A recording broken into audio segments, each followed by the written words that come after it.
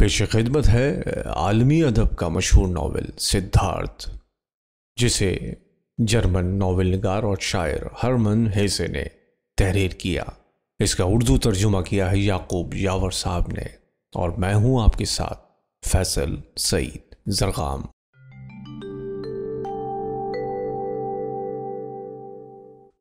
बाब नंबर चार, बेदारी।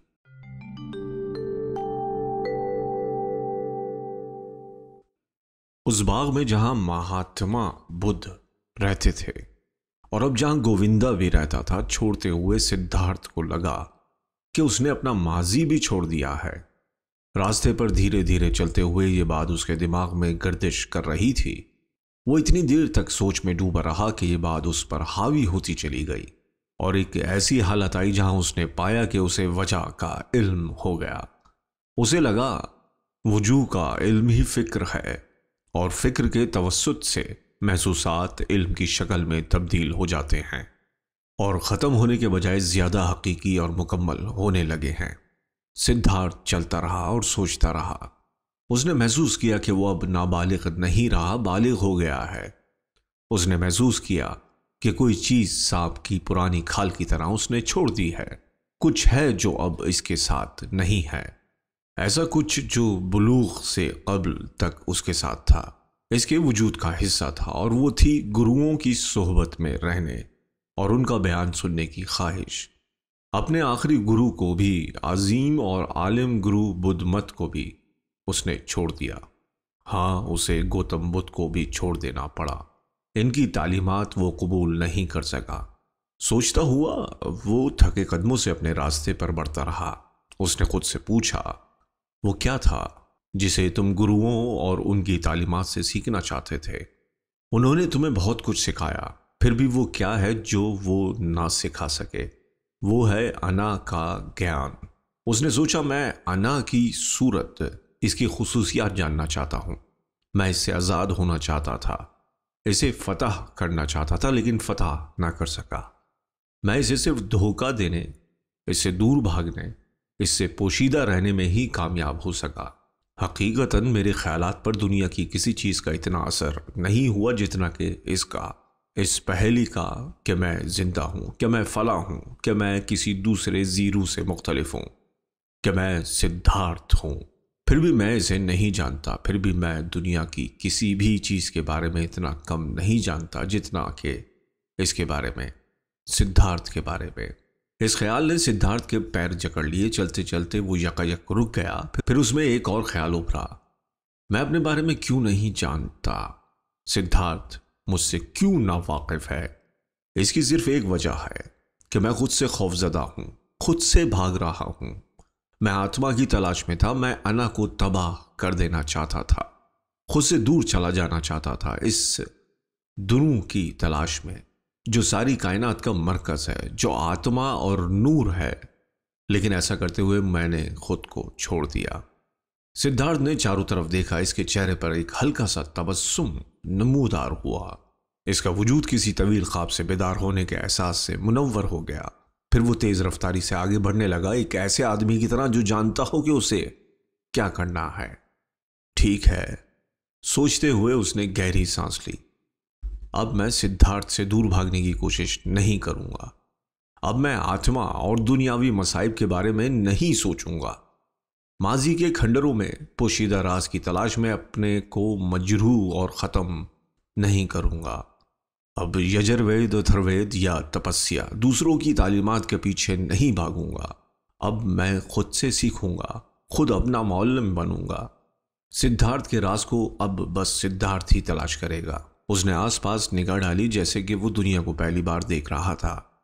ये खूबसूरत पुरस्कार कायनात, जिसमें नीले, पीले और हरे कितने रंग थे।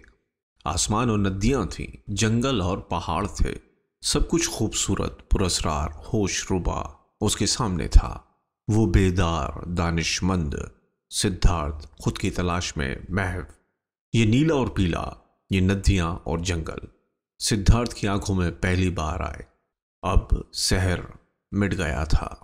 माया का जाल कट चुका था, नदी तो नदी है, और अगर सिद्धार्थ में मुकीम वो आत्मा, वो तनवीर आसमान और नदी में भी है तो ये इसकी कोशिश और ख्वाहिश की सबब ही तो है कि पीला और नीला हो, आसमान और जंगल हो, और सिद्धार्थ हो। माने और हकाइक मखसूस चीज़ों में पोशीदा नहीं, वो इनमें इन सब में मौजूद है। मैं कितना बेवकूफ़ बना रहा। उसने सोचा तेज तेज चलता रहा। कोई आदमी जब अपनी दिलचस्पी की कोई चीज़ पढ़ता है तो वो लफ्ज और तशबीहात से बेनियाजी नहीं बरत सकता। इन्हें मशकूक और बेमाने नहीं समझता। वो इन्हें पढ़ता है, लफ्ज बलफ्ज पढ़ता है और प्यार करता है। लेकिन मैं जो दुनिया की इस किताब को पढ़ने का ख्वाहिशमंद था, अल्फाज और तशबीहात को नज़रअंदाज कर बैठा। मैंने दुनिया के वजूद को फरेब समझ लिया। अपनी आँखों और जबान को, निगाह और लज्जत को इत्तेफाक मान लिया। अब सब कुछ पोशीदा हो गया। मैं बेदार हो गया हूँ। सचमुच, आज मैं जाग गया हूँ। आज ही मेरा नया जन्म हुआ है। जहन में जैसे ही ख्याल आता है, सिद्धार्थ ठिटक कर खड़ा हो गया। जैसे उसने कोई सांप देख लिया हो। फिर यकायक ये मसला हल हो गया। सिद्धार्थ अब एक मासूम बच्चे की तरह है। उसे अपनी ज़िंदगी बिल्कुल नई तरह शुरू करनी होगी। उस दिन सुबह पहली बेदारी के उन लम्हात में जब वो गौतम का जेतवन छोड़कर खुद की तलाश में निकल पड़ा था, उसका जी चाहा था कि लौट जाए। अपने घर अपने बाप के पास। बरसों की तपस्या के बाद ये ख्वाहिश बेमाने नहीं थी। लेकिन अब जबकि वो सांप सूंघा हुआ सा रास्ते में खड़ा था। एक लम्हे के लिए उसके दिल में ये ख्याल आया कि मैं पहले जो कुछ था, अब नहीं रह गया हूँ। अब मैं सन्यासी नहीं हूँ, पुजारी और बरहमन भी नहीं हूँ। तो घर में बाप के पास जाकर क्या करूँगा? मुतालिया इस्तराक इबादत। लेकिन मेरे लिए तो ये सब कुछ ख़त्म हो चुका है। मुंजमद सिद्धार्थ के जिसम में एक हल्की सी थरथराहट, एक तेज बर्फीली कपकपाहट दौड़ गई। उसने सोचा, वो कितना तनहा है। एक हकीर जानवर की तरह, चिड़ियों और खरगोश की तरह। वो बरसों बेघर रहा, लेकिन कभी ऐसा महसूस नहीं किया जैसा आज कर रहा है। पहले गहरे इस्तराक के लम्हात में भी वो अपने बाप का बेटा था, खानदानी बरहमन था, मजहबी शख्स था। अब वो सिर्फ़ सिद्धार्थ है, दानिशमंद। इसके अलावा कुछ नहीं, उसने गहरी सांस ली और एकदम काँप उठा। वो तनहा था और दुनिया में इससे ज़्यादा तनहा कोई नहीं था। वो कोई दौलतमंद शख्स नहीं कि अपने दौलत में छुप सके। कोई फनकार नहीं था जो फन में पनाह ले सके। इनकी ज़िंदगी और इनकी जबान अपना ले। ब्राह्मण भी नहीं शरवनों की पनाह में जाने वाला सन्यासी भी नहीं है। वीरान जंगल में रहने वाला अकेला नहीं होता। वो भी किसी ग्रोह का एक फर्द होता है। गोविंदा भिक्षु हो गया।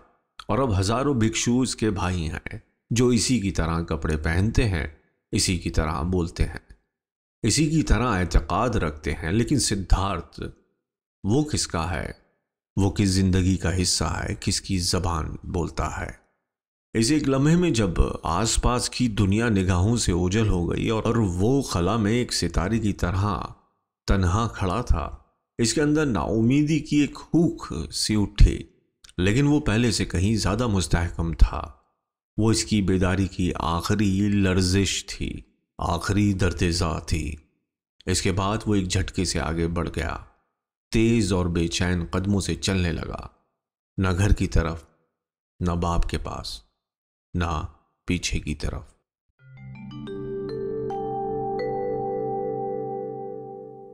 बाब नंबर पाँच, कमला।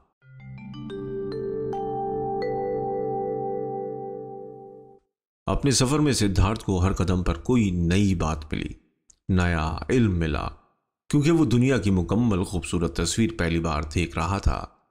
उसे नई आँखें मिली थीं और वो इस दुनिया का गर्विदा हो गया था।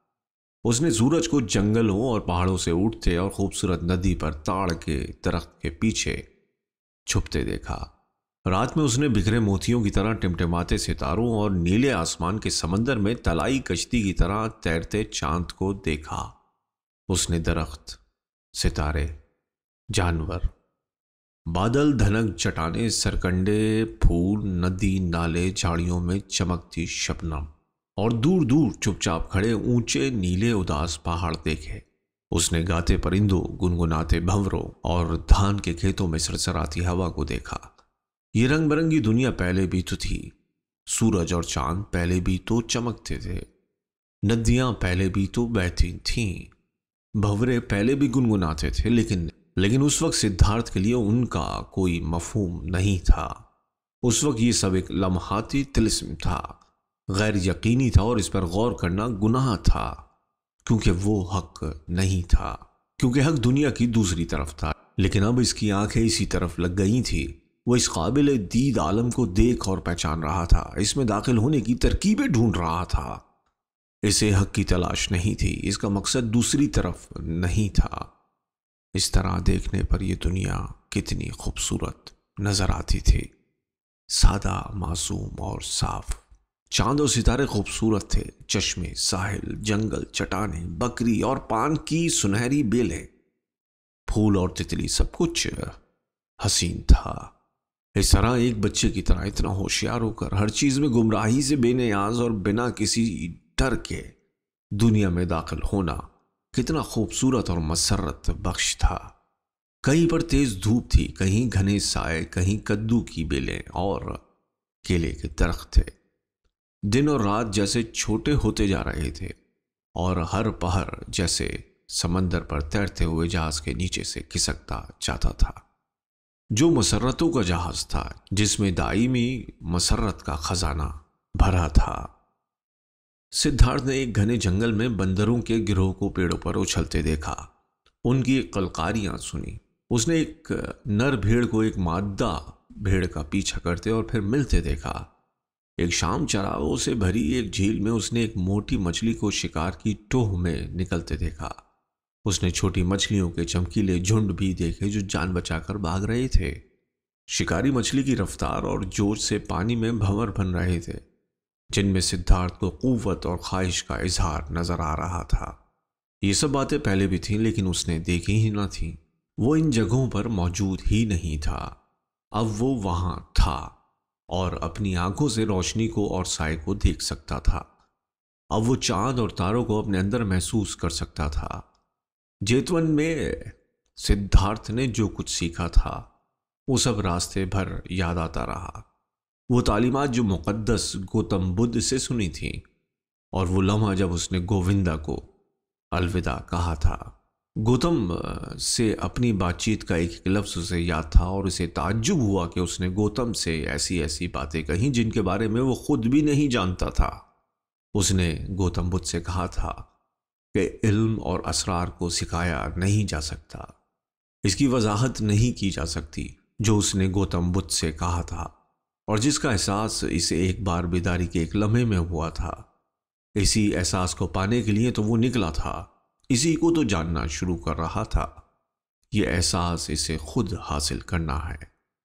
वो बहुत पहले से जानता था कि उसकी ज़ात ही आत्मा है, जो बरहम की तरह ज़िंदा है। लेकिन वो इस ज़ात को कभी पा नहीं सका क्योंकि उसने इसे ख्यालात के जाल में उलझा देना चाहा।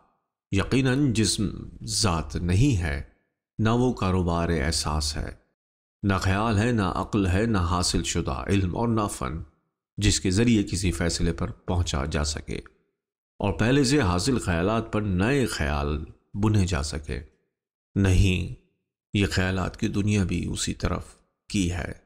और इस ज़ात को, इस जान को तबाह कर देने और इसमें ख्यालात और इल्मियत बढ़ते रहने पर कोई भी मकसद तक नहीं पहुँच सकता। ख्याल और एहसास दोनों अजीम हैं, दोनों में अजमत है, दोनों को हासिल करना, इन्हें इस्तेमाल में लाना, दोनों को यकसा अहमियत देना, दोनों की आवाज़ हमतन गोश होकर सुनना ही अच्छा है, सिद्धार्थ ने तय किया।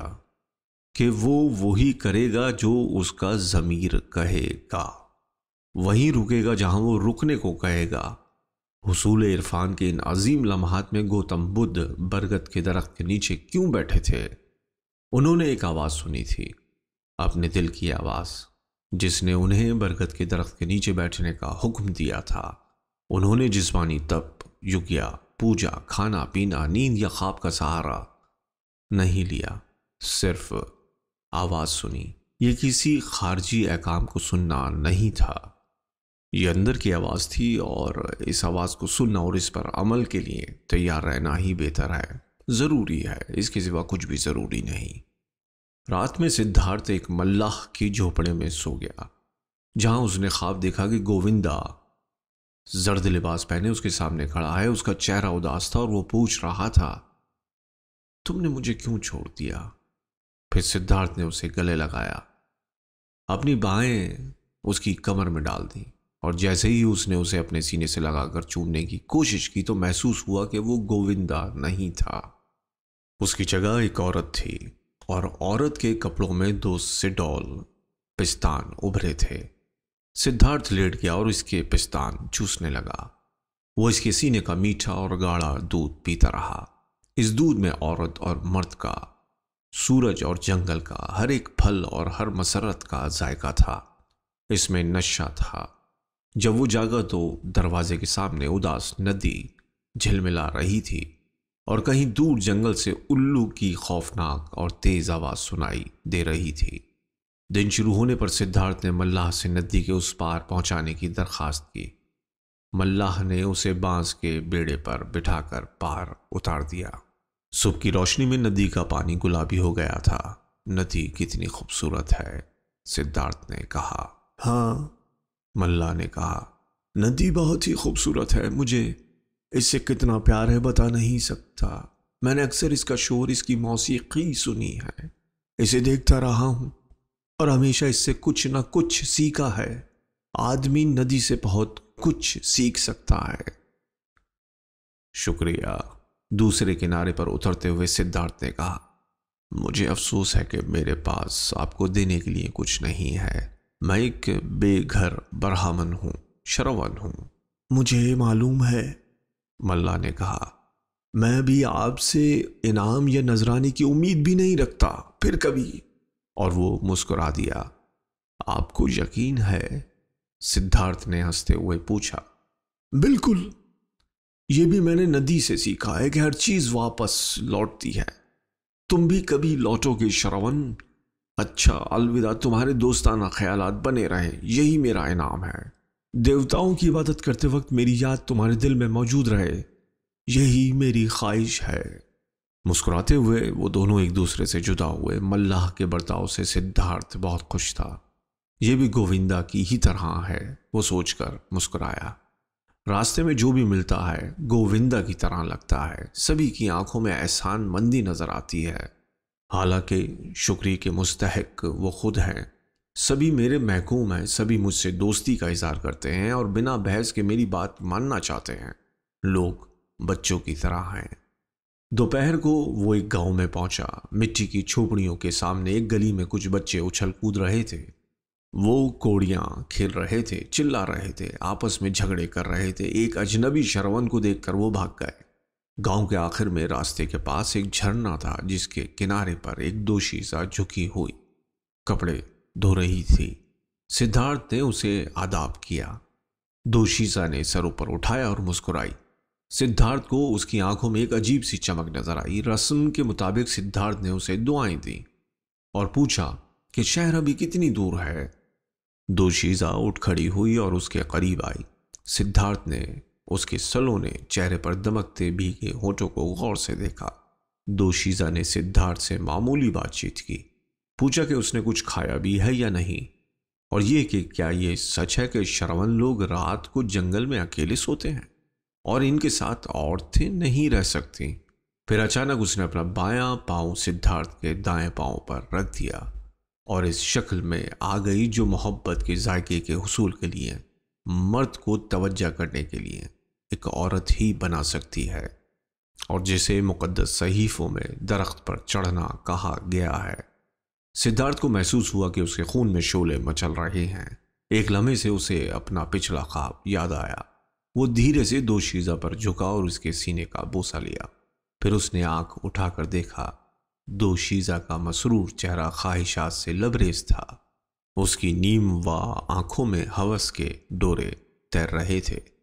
सिद्धार्थ ने भी अपने अंदर एक ख्वाहिश, हवस की एक तरंग महसूस की। उसने निस्वानी जिस्म को कभी हाथ नहीं लगाया था। वो एक लम्हे के लिए झिझका। अगरचे उसके हाथ हम आगोशी के लिए बेचैन हो रहे थे। एन उसी वक्त इसके अंदर से एक आवाज़ आई, नहीं।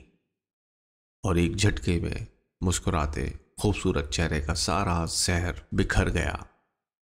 अब उसे एक हविस ज़दा लड़की की आँखों में जिनसी ख्वाहिश के अलावा कुछ ना दिखाई दिया। धीरे से दोशीजा के गाल थपथपाकर वो बाँस के एक झुरमुट के पीछे ओझल हो गया। शाम होने से कबल वो शहर के करीब पहुँच गया। वो लोगों के दरमियान आ गया। ये सोचकर इसे अजीब मसरत हो रही थी। अरसा दराज तक जंगलों में रहने के बाद पिछली रात वो पहली बार किसी घर में सोया था, मल्लाह की झोपड़ी में। शहर के बाहर एक खुला बागीचा था। वहाँ उसे खादमों और खादमाओं का एक झुंड नज़र आया, जिनके हाथों में टोकरियाँ थीं। बीच में चार लोग कंधे पर एक सजी, संवरी, रंगीन चंदोले से ढकी पालकी लेकर चल रहे थे। पालकी में सुर्ख गद्दों पर एक औरत बैठी थी। बागीचे के दरवाजे पर खड़ा सहरजादा सिद्धार्थ इस सफ़र को खादिमों और नौकरानियों को गुजरते देखता रहा। उसने एक पालकी और इसमें बैठी औरत को देखा। घने काले बालों में से झांकता एक खुला हुआ शीरी और शोक चेहरा उसने देखा। ताज़ा कटे हुए इंजीर की तरह उसके सुरखोट देखे। उसके अब्रू, गहरी काली और चंचल आँखें, हरे सुनहरे लिबास से निकली हुई गोरी पतली गर्दन देखी। उसकी बाहें सुडौल और चिकनी थीं। और कलाइयों पर सोने के कड़े चमक रहे थे। सिद्धार्थ ने सोचा, ये कितनी हसीन है। इसे बहुत अच्छा लगा। पालकी इसके बिल्कुल पास से होकर गुजरी तो उसने सर झुकाया, फिर इस दमकते चेहरे को, कमान जैसे अबरुओं को एक लम्हे देखा। इसे महसूस हुआ कि एक अजीब सा नशा और खुशबू इसके अंदर बस गई है। ऐसी खुशबू जिसे उसने आज तक कभी महसूस नहीं किया था। औरत ने भी धीरे से नज़रें झुकाई और खादिमों के साथ बागीचे में चली गई। इस शहर में मेरी आमद किसी मुबारक सात में ही हुई है, सिद्धार्थ ने सोचा। दिल में फ़ौरन बागीचे में जाने की ख्वाहिश हुई, लेकिन उसने टाल दिया। ये सोच करके रास्ते में खादिम और खादमाएँ उसे कितनी नफरत, शक और अजनबी निगाहों से देख रहे थे। मैं अभी तक श्रवण हूँ, अभी तक सन्यासी और योगी हूँ, उसने सोचा। अब नहीं रह सकता। इस तरह बाग में कभी जा ही नहीं सकूँगा। ये सोचते हुए उसे हँसी आ गई। बाग के पास उसे जो पहला शख्स मिला, सिद्धार्थ ने उससे इस औरत के बारे में पूछा। पता चला कि वो शहर की मशहूर तवाइफ, कमला है, और ये बागीचा भी उसी का है। यही नहीं, शहर में इसका एक महल भी है। सिद्धार्थ शहर के दरमियानी हिस्से में पहुँचा। अब इसके सामने सिर्फ़ एक मकसद था और इसके हजूल के लिए उसने सारा शहर छान मारा। गलियों और सड़कों की भूल भलैयों में वो भटकता रहा जगह जगह रुक कर और नदी के घाटों पर लेट कर वो थकन उतारता रहा। शाम तक उसने एक हजाम से दोस्ती कर ली, जो एक गुंबद के नीचे हजामत बना रहा था। वो इसे दोबारा विष्णु मंदिर में पूजा के वक्त मिला, जहाँ वो नाई को विष्णु और लक्ष्मी की कथाएँ सुना रहा था। रात को वो नदी के किनारे पड़ी नावों के बीच सोया और अलिल सुबह जब हजाम की दुकान पर कोई गाहक नहीं था उसने जाकर दाढ़ी साफ़ करवाई। उसने बाल भी छोटे करवाए। इन पर खुशबूदार तेल मला। इसके बाद नदी में नहाने चला गया। दोपहर में जब कमला पालकी में बैठकर नौकरों के साथ बागीचे में दाखिल हो रही थी, सिद्धार्थ दरवाजे पर खड़ा था। उस दिन कमला ने झुककर उसका आदाब कबूल किया। फिर सिद्धार्थ ने जुलूस के आखिरी शख्स को इशारे से बुलाकर कहा, अपनी मालकन से कहना कि मैं एक नौजवान बरहमन इससे मुलाकात करना चाहता हूँ। कुछ ही देर में खादिम वापस आया और सिद्धार्थ को साथ चलने के लिए कहा। वो सिद्धार्थ को चुपचाप एक शामियाने तक ले गया, जहाँ एक मसनद पर कमला लेटी हुई थी। कल दाखिली दरवाजे पर आप ही ने मुझे अदाब किया था ना? कमला ने पूछा। हाँ वो मैं ही था। लेकिन कल तो आपके चेहरे पर दाढ़ी और सर पे लंबे बाल थे। इनमें धूल भरी थी। आप ठीक कह रही हैं। आपने ठीक देखा था। आपने ब्राह्मण ज़्यादा उस सिद्धार्थ को देखा था, जिसने श्रवण बनने के लिए घर बार छोड़ा और तीन साल तक श्रवण रहा। और अब मैं वो लिबास भी उतार चुका हूँ। इस शहर में आया हूँ और यहाँ पहुँचने पर जो पहला इंसान मुझे नज़र आया, वो आप थी। और और मैं आपसे यहाँ ये कहने आया हूँ कि आप पहली खातून हैं जिससे मैंने बगैर नज़रें झुकाए बात की। अब किसी खूबसूरत औरत को देखकर मेरी निगाह नहीं झुकेगी। कमला मुस्कुराई और मोर पंख हिलाते रहे और फिर कहा, क्या सिद्धार्थ यही कहने मेरे पास आए हैं?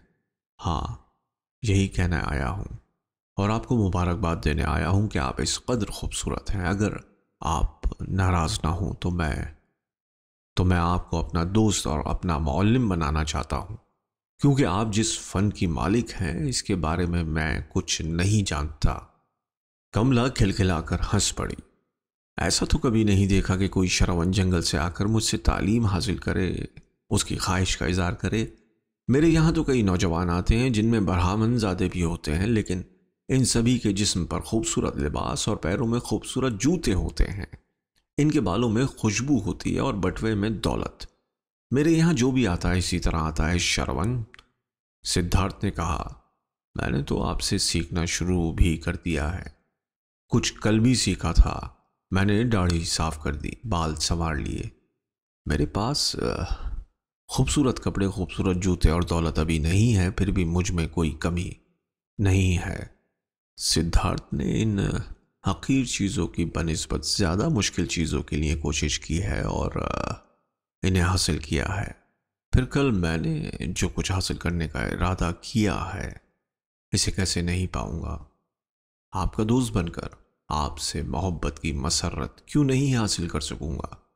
मुझमें आपका शागिर्द बनने की सलाहियत है।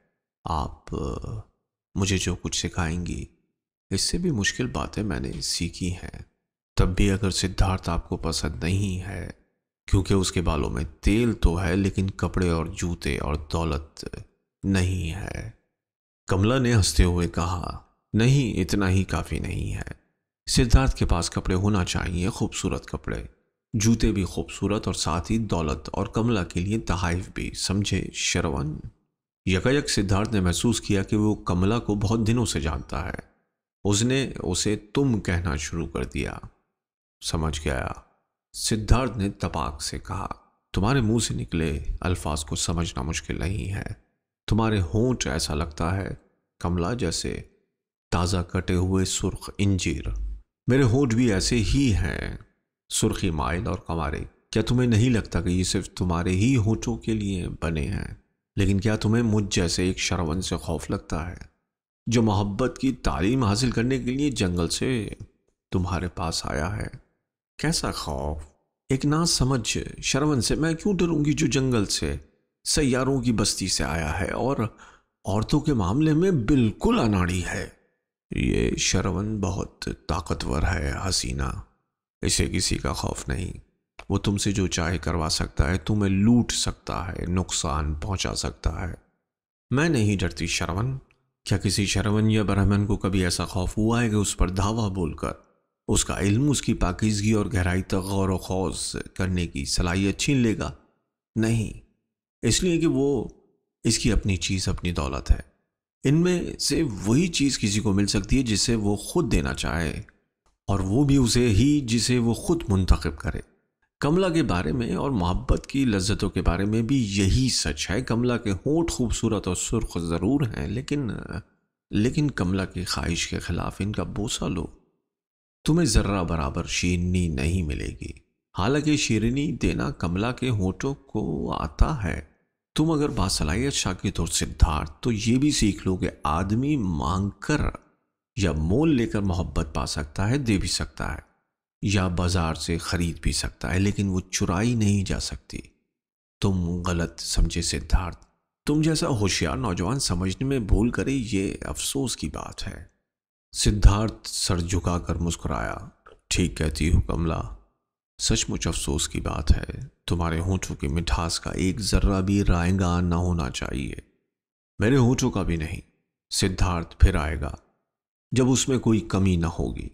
जब कपड़े, जूते और रुपये होंगे, वो फिर आएगा, लेकिन क्या तुम मुझे एक मशवरा दे सकती हो? मशवरा? ज़रूर। सैारों की बस्ती से आए गरीब अजनबी शरवन को कौन मशवरा देना नहीं चाहेगा? तो ये तीनों चीज़ें मुझे कहाँ से हासिल हो सकती हैं? ये कई लोग जानना चाहते हैं, दोस्त। तुम्हें जो भी काम आता हो वो वही करो। इसके बदले में दौलत, कपड़े और जूते ले लो। गरीब के पास इसके अलावा क्या तरीका हो सकता है? तुम क्या कर सकते हो? मैं सोच सकता हूँ। मैं इंतज़ार कर सकता हूँ। मैं भूखा रह सकता हूँ। बस हाँ एक काम और मैं शायरी कर सकता हूँ। कुछ सुनाओ। क्या तुम एक नज्म के लिए एक बोसा दे सकोगी? नज्म अच्छी हो तो ये भी हो सकता है। एक लम्हे की फ़िक्र के बाद सिद्धार्थ ने नज्म सुनाई। एक हसीन दोशीजा। आई गश्त गुलशन को। एक हसीन दोशीजा। आई गश्त गुलशन को। गुलसिता के दरवाजे पर खड़ा था एक शरवन जिसने एक नज़र देखा और इसकी खिदमत में हाथ जोड़कर अपने एहतराम दे डाला। वो हसीन दो दोशीजा मुस्कुराई जेर लब। जंगलों का शहजादा सोचने लगा, कुछ यूँ? क्यों ना देवता उसकी बारगाह में आए बा अदब खमीदा सर? कमला ने इतनी ज़ोर से ताली बजाई कि उसकी कलाइयों की तलाई चूड़ियाँ खनखना उठी। तुम्हारी नज़म बहुत खूबसूरत है शरवन समझती हूँ इसके बदले में एक बोसा दे देना, घाटे का सौदा नहीं है। उसने निगाहों के इशारे से सिद्धार्थ को नज़दीक बुलाया। सिद्धार्थ अपने चेहरे को उसके चेहरे के बिल्कुल करीब ले गया। अपने होठों से उसके होठ मस किए जो ताज़ा कटे इंजीर की तरह थे। कमला ने पूरे जोश के साथ उसका बोसा लिया। जज्बात की रौ में सिद्धार्थ को यूँ लगा कि कमला ने उसे न जाने कितना कुछ सिखा दिया है। उसने सोचा, ये कितनी हुनरमंद है। किस तरह उसने मुझे मशहूर कर दिया। इस तवील बोसे के बाद कितने ही और बोसे उसके मुंतजर थे। सिद्धार्थ का तनफुस बेकाबू था। उसे अजीब सा एहसास हो रहा था। इल्म और हुनर की अजमत के सामने वो एक मासूम बच्चे की तरह था। तुम्हारी नज़म बड़ी प्यारी है। कमला ने कहा, अगर मैं दौलतमंद होती तो तुम्हें दौलत भी देती, मगर शायरी से तुम हसब मंशा दौलत हासिल ना कर सकोगे। और कमला का दोस्त बनने के लिए तुम्हें दौलत की ज़रूरत पड़ेगी। तो, तो तुम्हारे बोसे में कोई जादू है क, कमला? सिद्धार्थ ने लुकनत ज़्यादा लहजे में बोला हाँ तभी तो मेरे पास कपड़ों जूतों चूड़ियों और खूबसूरत चीज़ों की कमी नहीं। लेकिन तुम क्या करने की सोच रहे हो? सोचने, इंतज़ार करने, भूखा रहने और शायरी करने के अलावा तुम कुछ और नहीं कर सकते। मुझे वैद मंत्र आते हैं, सिद्धार्थ ने कहा। लेकिन इनकी अदायगी मैंने तर्क कर दी है, मैं जादू टोना भी जानता हूँ, लेकिन अब वो भी नहीं करूँगा। मजहबी सईफ़ों का मुताल अभी मैंने किया है। रुको। कमला ने कत कलाम करते हुए कहा, तुम पढ़ और लिख सकते हो ना? हाँ। लेकिन ऐसा तो कई लोग कर सकते हैं। बेशतर लोग नहीं जानते जैसे मैं नहीं जानती। ये बहुत अच्छी बात है कि तुम पढ़ लिख सकते हो। कभी जादू टोने की ज़रूरत भी पड़ सकती है। उसी वक्त एक खिदमतगार आया और उसने चुपके से अपनी मालकन के कान में कुछ कहा। मुझसे कोई मिलने आया है, सिद्धार्थ। कमला ने कहा, जल्दी जाओ तुम्हें यहाँ कोई देख ना पाए। कल फिर तुमसे मिलूँगी। कमला ने अपने खादिम से कहा, इस मुकद्दस बरहमन को एक सफ़ेद चोगा दे दो। सिद्धार्थ की समझ में ये सब नहीं आ रहा था। खिदमतगार ने उसे एक चोगा देकर फ़ौरन एक चोर दरवाजे से चले जाने को कहा, ताकि उस पर किसी की नज़र न पड़े। सिद्धार्थ ने सुकून की सांस ली और जंगल में रहने का आदि था, इसलिए वो आसानी से झाड़ियाँ फांद कर बाहर निकल आया। सफ़ेद चौके को बगल में दबाए हुए वो आराम से शहर में आया, एक सराय के दरवाजे पर रुका, जहाँ मुसाफिरों से भीख मांगने पर उसे कुछ चावल मिल गए। उसने सोचा, अब शायद मुझे खाना मांग कर नहीं खाना चाहिए। अब मैं शरावन नहीं हूँ। अब भीख मांगना मुझे जेब नहीं देता। उसने चावल एक कुत्ते के आगे फेंक दिया और खुद भूखा ही रहा। यहाँ ज़िंदगी गुजारना कितना आसान है, सिद्धार्थ ने सोचा। कोई मुश्किल नहीं है। जब शरवन था तो हर चीज़ मुश्किल और मायूस कुन थी। अब हर चीज़ आसान है। कमला के बोसे की तरह मुझे सिर्फ़ कपड़े और पैसे ही तो चाहिए। ये आसान चीज़ें हैं जिनके लिए नींद हराम करना बेकार है। शहर में कमला के महल का पता उसने पहले ही मालूम कर लिया था। अगले दिन वो वहाँ जा पहुँचा। तुम्हारा काम बन रहा है, सिद्धार्थ, कमला ने उसके करीब आकर कहा। तुम्हें काम स्वामी ने बुलाया है। वो इस शहर का सबसे दौलतमंद ताजिर है। अगर तुम उसे खुश रख सके तो वो तुम्हें अपने यहाँ रख लेगा। होशियारी से काम करने की ज़रूरत है। मैंने कुछ लोगों के ज़रिए तुम्हारा नाम उस तक पहुँचाया है। इससे दोस्ती करो, वो बहुत बासर आदमी है, लेकिन लेकिन इसके सामने बहुत भोले मत बने रहना। मैं चाहती हूँ कि तुम उसके खादिम नहीं, बल्कि उसके बराबर के बन के रहो, वरना मुझे खुशी नहीं होगी। काम स्वामी, बूढ़ा आदमी है। खुश हो गया तो तुम पर पूरा भरोसा करेगा।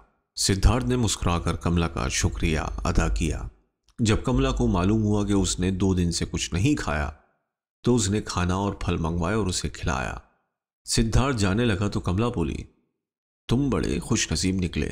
तुम्हारे लिए दरवाजे पर दरवाजे खुलते जा रहे हैं, ये कैसे हो रहा है? तुम कोई साहिर तो नहीं हो? सिद्धार्थ ने कहा, मैंने कल कहा था, मैं सोचना, इंतज़ार करना और भूखा रहना जानता हूँ। तुम्हें ये चीज़ें किसी काम की नहीं लगी। अब तुम देखो कि ये कितनी अहम है। तुम देखोगी कि जंगल में रहने वाले श्रवण भी कितनी ही काम की बातें जानते हैं। परसों तक मैं मैला कुचैला भिखारी था। कल मैंने कमला के होठ पा लिए और अब जल्द ही ताजिर बनने जा रहा हूँ। मेरे पास दौलत और वो सारी चीज़ें होंगी जिन्हें तुम बहुत बड़ा समझती हो। ठीक है, उसने सर को हल्की सी जुम्बिश दी। लेकिन ये तुम मेरे बगैर कैसे कर लेते? कमला अगर तुम्हारी मदद के लिए ना आती तो तुम ना मालूम कहाँ होते। सिद्धार्थ ने कहा, प्यारी कमला, जब मैं बागीचे में तुम्हारे पास आया था तो वो मेरी पहली कोशिश थी। मैं शहर की हसीन तरीन औरत से प्रेम ज्ञान पाना चाहता था। मैं जानता था कि तुम मेरी मदद करोगी। बागीचे के बाहर जब पहली बार तुमने मुझे देखा था, उसी वक्त मैं ये बात समझ गया था। अगर मैं ना चाहती तो तुम ऐसा नहीं कर सकती थी, कमला। पानी में तुम पत्थर फेंकोगी तो वो तय तक पहुँच ही जाएगा। सिद्धार्थ के किसी भी मकसद किसी भी निशाने के साथ भी ये बात हर बार सच है। सिद्धार्थ कुछ भी नहीं करता। वो सबर के साथ इंतज़ार करता है, गौर करता है, भूखा रहता है, लेकिन वो दुनिया के अमाल से बगैर किसी कोशिश के, बगैर दाखिली तहरीक के गुजर जाता है। पानी में फेंके हुए पत्थर की तरह खिंचता जाता है और अपने को डूब जाने देता है, क्योंकि वो अपने निशाने में रुकावट बनने वाली चीज़ों को अपने मन में आने नहीं देता। सिद्धार्थ ने श्रवणों से यही सीखा है। बेवकूफ़ लोग इसे जादू कहते हैं। आदमी ये जादू कर सकता है। हर आदमी मकसद तक पहुँच सकता है अगर वो सोचना, इंतज़ार करना और भूखा रहना जानता हो। कमला सुनती रही और इसे सिद्धार्थ की बातों पर, इसकी चितवन पर प्यार आता रहा। शायद तुम ठीक कह रहे हो, सिद्धार्थ। कमला ने कहा। और शायद इसकी वजह यह भी हो कि सिद्धार्थ खूबसूरत है। इसकी चितवन औरतों को प्यारी लगती है और यह कि वो किस्मत का धनी है। सिद्धार्थ ने उसे चूम लिया। विदा लेते हुए उसने कहा, काश मेरी आँखें तुम्हें हमेशा अच्छी लगती रहें और तुम इसी तरह मुझे किस्मत का धनी बताती रहो।